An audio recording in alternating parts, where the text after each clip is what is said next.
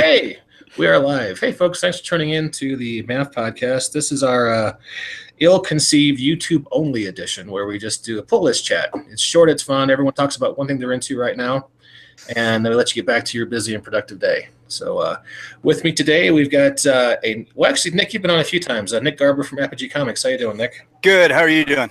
All right, um, Nick. Uh, why don't you do tell us about, about your work just real fast? Uh, I am the president, artist, and chief financial officer for Apogee Comics LLC. We're a small independent comic book publishing house um, dealing with titles like Transgenesis, Bengali, the soon to be retitled Cardinal, uh, Phantom Hawk, and a few others that got coming out. All right, cool. I know Walt's had you on a few times. Um, glad to have you again, Nick. Thanks. Thank you. Uh, next to uh, next to Nick in our virtual studio is Jacob Blackman. How you doing, Jacob? Hello. Thanks for having me again. Yeah. Um, and since we just had Nick do a quick introduction, why don't you give you give a quick rundown of who you are? I'm an illustrator for tabletop role playing games, mostly in the third party industry. And I am particularly known for my superhero uh, line called the Superpowered Legends, creating characters for mutants and masterminds. All right, cool. Thanks for having you uh, coming to visit us again, Jacob. Uh, next to Jacob in the lineup, we got Chris McLaughlin. Chris, how you doing? I'm great, sir. I'm I'm I'm on first day of break, and I'm just back from uh, meeting John Waters. Uh, you meet John Waters a lot, don't you? Well, I, uh, twice. I've been I've been blessed to go to a live show and uh, hang out with him in an autograph session. So he likes he's going to come over and help you move next time. that would be that. Okay, there's very very few things I hate worse than moving, but if John Waters were to help me move, I'd start packing.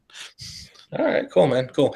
Um, Chris, why don't you give us a quick rundown for any listeners here in YouTube land who might not be familiar with uh, your background? Well, uh, my secret identity, I, I teach uh, political science to uh, college freshmen. And uh, in my more exciting costume life, uh, I have been a freelance uh, RPG writer and game designer for, oh my God, it will be 21 years next year. Oh my goodness. And and I've been blessed to write for such fine companies as, as Pin- I got started with Pinnacle, and now I'm working for uh, post world games, uh, greater than games, and uh, I'm looking forward to some uh, new and exciting t- opportunities in the future. Okay, cool. Um, I know she didn't mention one particular company there. Um, well, West End Games is out of business, so uh, well, effectively. so I, you know, I, okay. So you've been for twenty years. You're an OG designer at this point. So all right. Uh, I, it really just I, I, even I have to go back and count because that the figure just seems so unreal to me. Because I, I think I'm still on my default. Oh, wouldn't it be great to write an RPG book and get it published someday? It would. It would. Um, and next to Chris is Walt Robillard. How you doing, Walt? Hello. And for those who don't know me, today I am Patient Zero. Patient Walt runs Hazard Studios, and he is the godfather behind the superhero RPG Supers, uh, among various other things. Right on. Um, the rumor that he was the martial arts teacher for Taylor Swift and her squad, I think, has been debunked thoroughly, but TMZ still uh, brings that up every once in a while. So you'll never get it out of me. I'm sorry. and she Look does live down. Made me do right, and she does live down the street from me. So. Okay. All right. Hey. Um, this is uh, the pull list chat. It's short, it's fun. We all talk about one thing we're into right now. Uh, Nick, since you're the new guy, you go first. All right. Uh, the thing I'm into right now, um, well, I've always been into it, but kind of getting back into it is Daredevil. Been a huge Daredevil fan since I was a little kid. It's one of the first comic books I ever read. Definitely got me into comics altogether. Um, the one I just picked up not too long ago, and it's been out for a while. I think it started its run in 2015 and ended about mid 2016. Was Daredevil Chinatown. Um, it was written by Charles Soule and illustrated by Ron Garney. Amazing artwork in there. Um, fun story. Um, this is Matt Murdock coming back to New York after his stint in San Francisco. Um, so this is right after, the, takes, uh, right after the Mark Waid run, then. Right. Cool. Uh, yeah, not too long right after that. So um, he's back in New York. He's at odds with Foggy. Him and our, him and Foggy aren't friends anymore um, Matt's working for the district attorney's office. He has this big case, which eventually falls apart. But um, and then he's kind of took on like an apprentice, not a sidekick, but more of an apprentice. There's someone else out there in Chinatown doing the same type of stuff he's doing, and so um, he kind of takes him on because the, uh, the character that he takes on is called Blind Spot, and he created this invisibility suit. Well, he's been using this invis- invisibility suit to fight crime and and kind of stalk Daredevil a little bit to figure out how to do this whole vigilante thing, and then he's surprised that Daredevil can actually see him. So yeah, it's a fun story. And then you got the hand in there and some um, some really creepy ten fingered people and like ten fingers on each hand.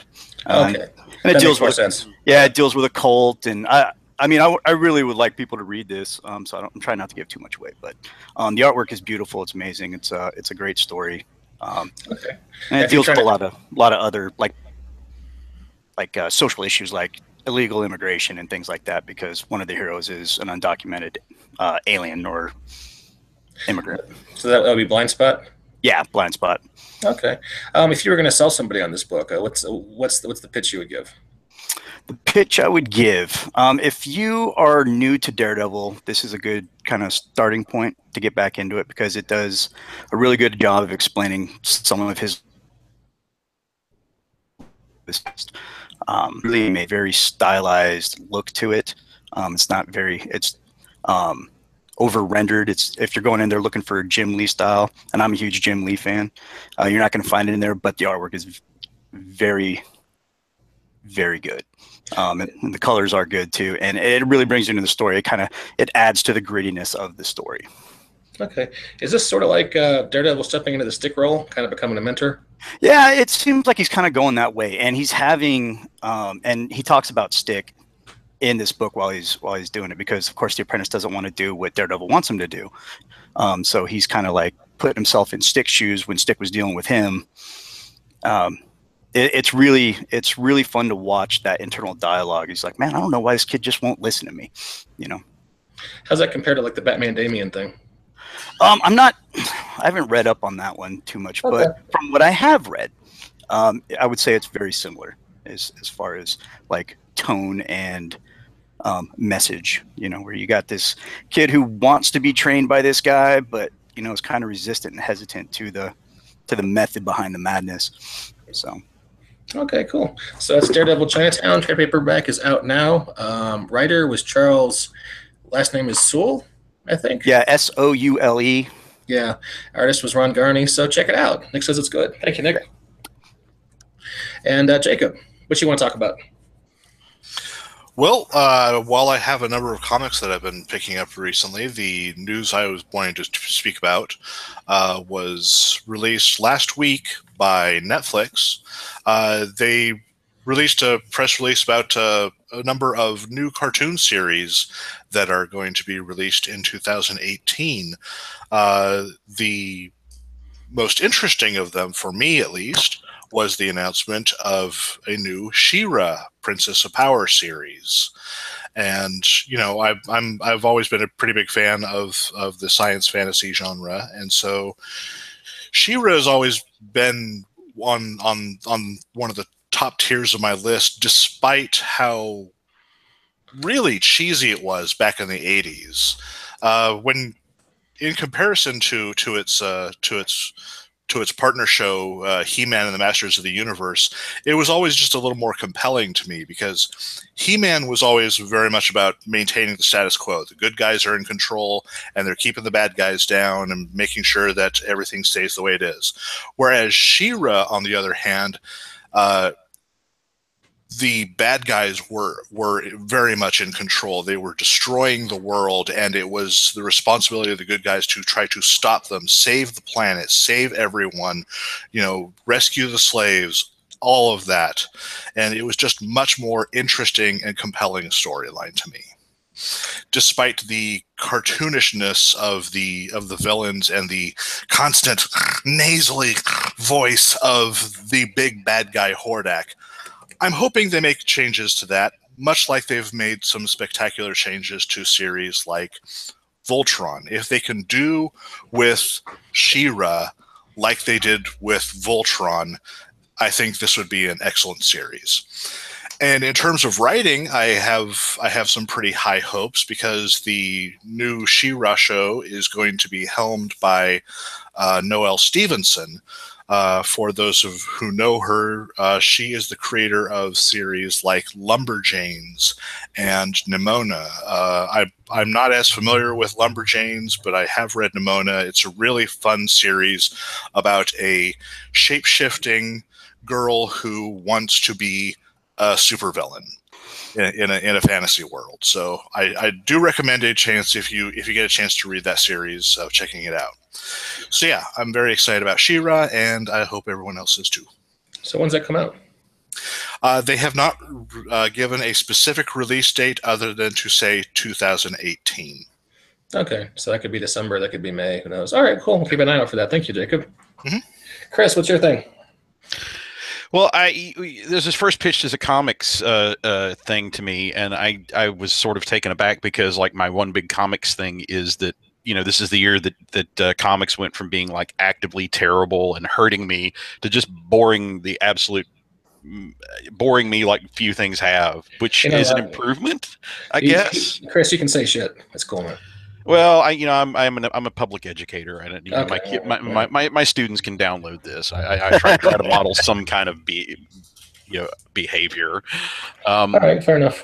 but but I will I will give DC uh, credit for one thing. I'll I'll, I'll try I'll try not to uh, slam them too hard for their continuing TPing of Alan Moore's house and phoning it up in the middle of the night, asking him if he's got Prince Albert in a can or things like that.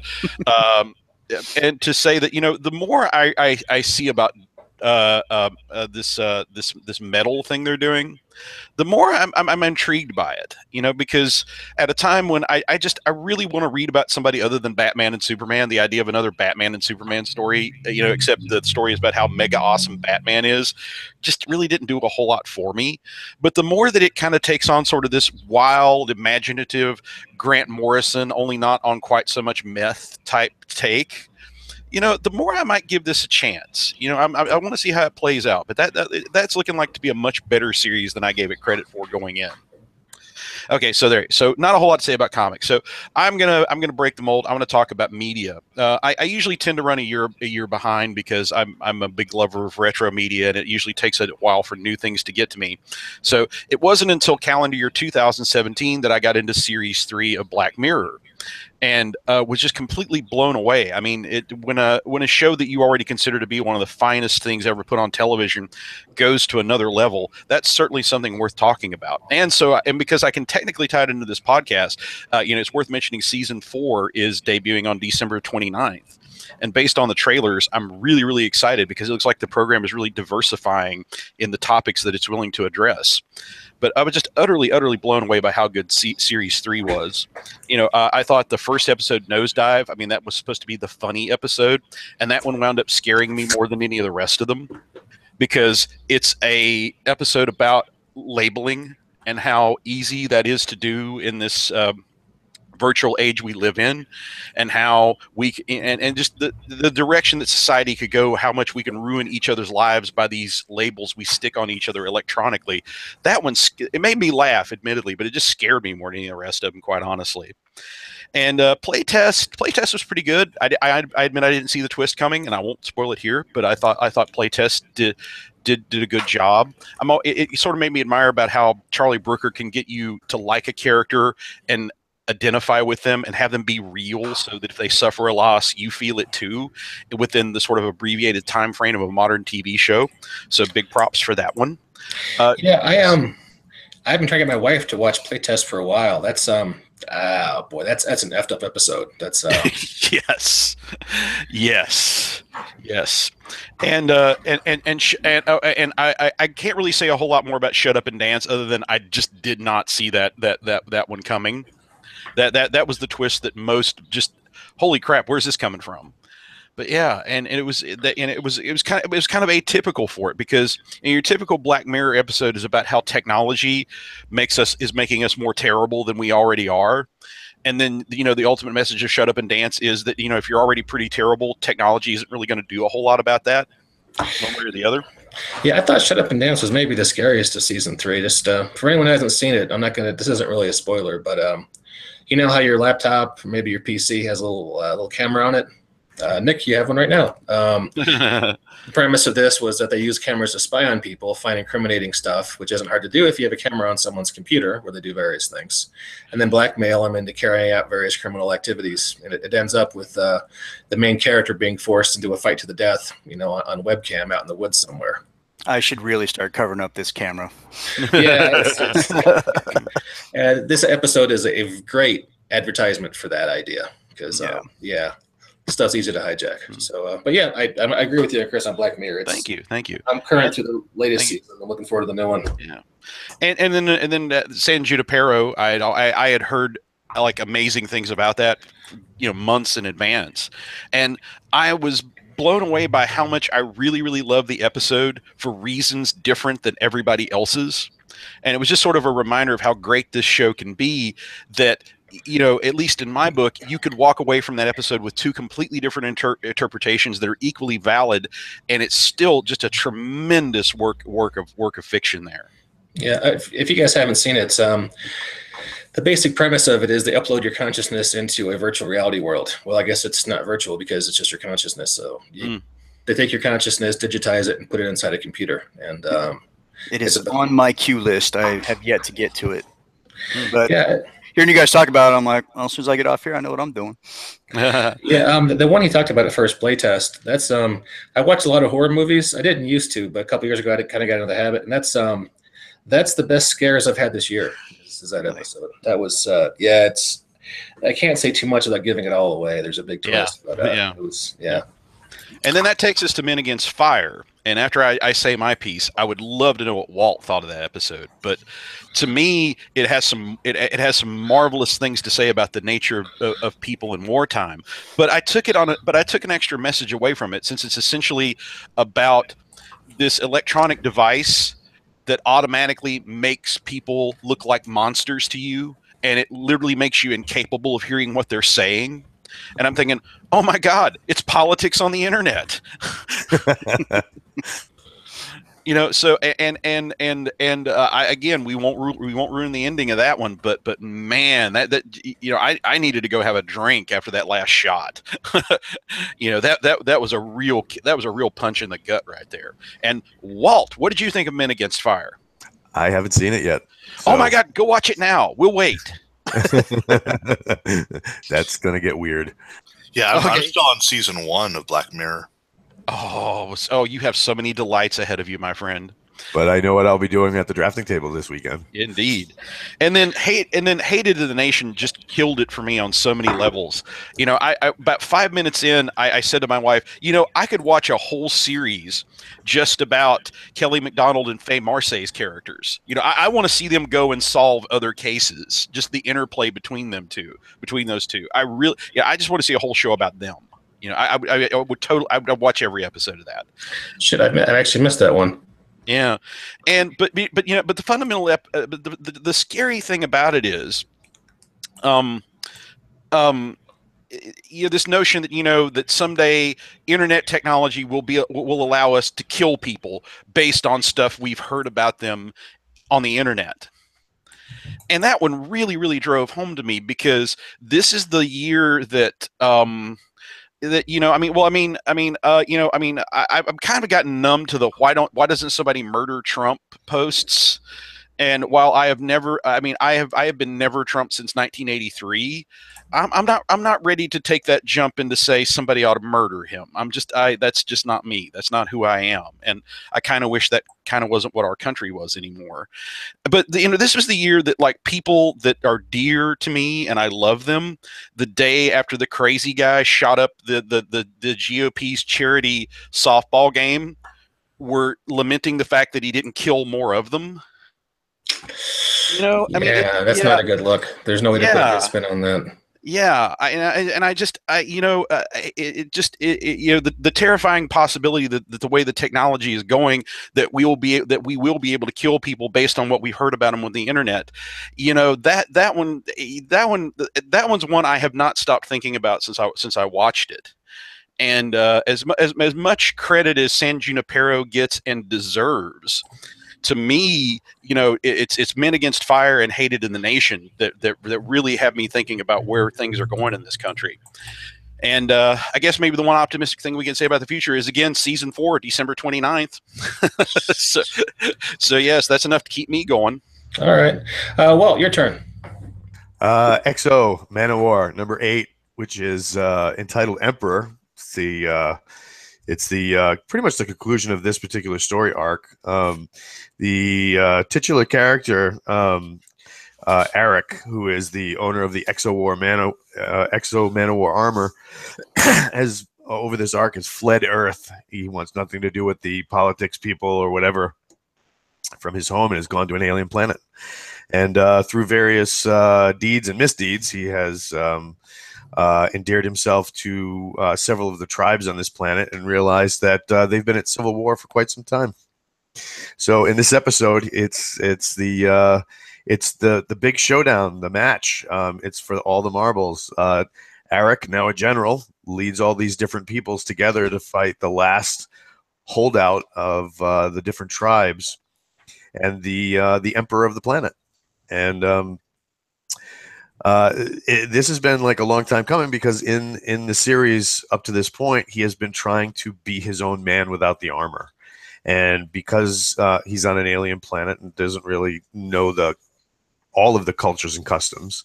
Um, he keeps having to rely on more and more of the armor and until we get to this episode where he's using it in total and in mass doing some pretty cool stuff um, uh, but of course, he faces down the emperor, and uh, um, you know things happen. And uh, the the best thing I can say about this episode is, or this issue rather, is um, you you get a sense of be careful what you wish for because you just might get it, and um, that's that's shown up in in, in the last scene.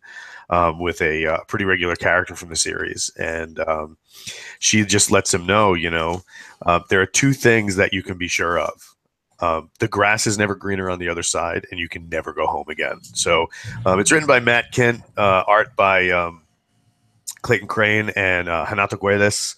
Uh, it's it. The art is fantastic. Um, the uh, if you haven't picked up a Valiant book lately, their covers are, are this thick cardstock with a semi gloss. Um, the art has a nice painted and watercolor style. It's uh, it's really really a nice a nice book. So um, I'm looking forward to what they got coming up next. And uh, if you if you're not picking up these titles, you really should give them a chance. And that's my pick. Cool. All right. Well, hey, that's um that's about half an hour right there. So uh, we're gonna go ahead and wrap it up. Uh, Nick, Jacob, Chris, Walt, thanks for coming out, guys. Good talking to you. Cheers. My Thank pleasure. you. And And happy, happy, hol- happy holidays and happy 2018 to all our listeners. Yeah. indeed. Happy holidays and uh, a festive Kwanzaa to all of you. All right. It's Talk to you all go later. weird. Bye. Bye. But